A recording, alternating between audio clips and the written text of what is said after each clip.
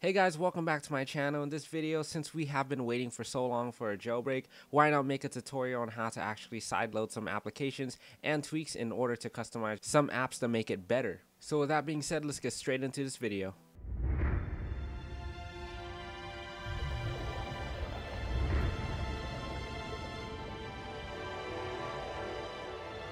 So in this video demonstration, I'm going to be sideloading YouTube++. Plus Now, I will be displaying a list of what applications that you guys can use on this hack. So if you guys want to actually hack that app, go ahead and follow along. So since I'm going to be doing YouTube++, Plus, we want to go ahead and delete the actual app off your phone first. Now since we got that out of the way, we can go ahead and minimize that. And you guys want to go ahead into Google Chrome or whichever browser you guys want and head over to the first link in the description below. So you'll get to see this page as PP Sideloader and you guys want to go ahead and press the download zip and go ahead and extract it to your desktop. Now for this demonstration as well, you will need a decrypted IPA file. Go ahead and head over to iPhoneCake.com.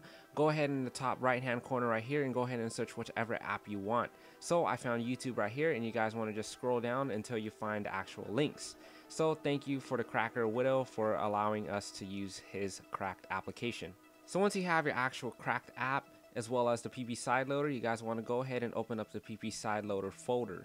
Now containing inside the folder is app.ipa. You guys want to go ahead and right click and move to trash or delete it. And we're going to go ahead and drag in our decrypted file inside. Now we want to rename the IPA file to app.ipa.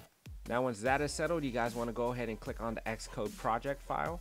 Now as usual, let Xcode do its thing real quick and it will say that it's ready. So go ahead and click on the left hand side where it says PP Sideloader and it'll automatically go to general. If not, go ahead and click that. So you guys will need to be able to tie your account in. So you guys want to go ahead and press Xcode, preferences, and you guys want to go ahead and add your account here. It'll look very different and this whole spot will be blanked out because I do not want you guys to know my credentials. So once you guys are in fact signed in where it says team, you guys want to go ahead and choose your team. Click that and press fix issue. But before you guys click on fix issue, you guys want to go ahead and select everything inside the bundle identifier and choose whatever you want. So for example, I did com.eah for elite apple hacks and I put yt for youtube.youtube. Now also go ahead and select your team and go ahead and press fix issue.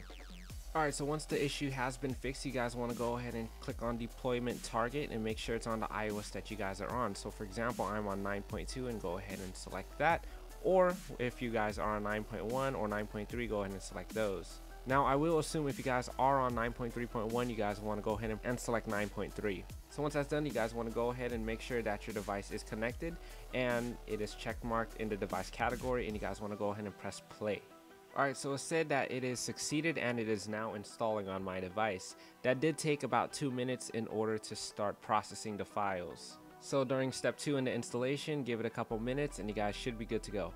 Alright, so now it says running PP side loader on error or your device name. So let's go ahead and check this out on our device. So on our springboard, we now see that we have YouTube++.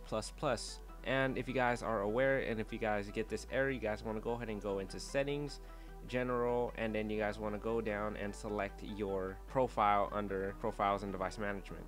Now once you guys do enable it, you guys want to go ahead and launch your application. Alright, so we do see that we do have ads on the very bottom. You guys want to go ahead and just exit that out. And you guys notice that the whole entire interface is actually different. So in the top, in the middle, we do actually get our downloads. So as you guys can see, we can in fact download videos. And if you guys want to go ahead and go to the very right on the top bar, you guys do see that it is the download page as well. Now, for example, let's go ahead and see one of my videos and see what it could do. So let's go ahead and launch up my latest tutorial on setting up a Hackintosh. So as you guys can see inside of the play area, you guys can see that we do have the playback speed, which is at 1 right now, and we guys can go ahead and rewind by 10 seconds or go forward by 10 seconds. And going down, you guys can see that there is in fact a download button right next to the like and dislikes. So we do get an option to choose which quality we guys want, ranging from audio to 720p. So there guys go, a tutorial on how to obtain YouTube++ Plus or another plus plus app that you guys desire, depending on whichever app you guys wanted to do. You guys can go ahead and choose up to all the apps you want if you guys have and use any of the apps that I listed before.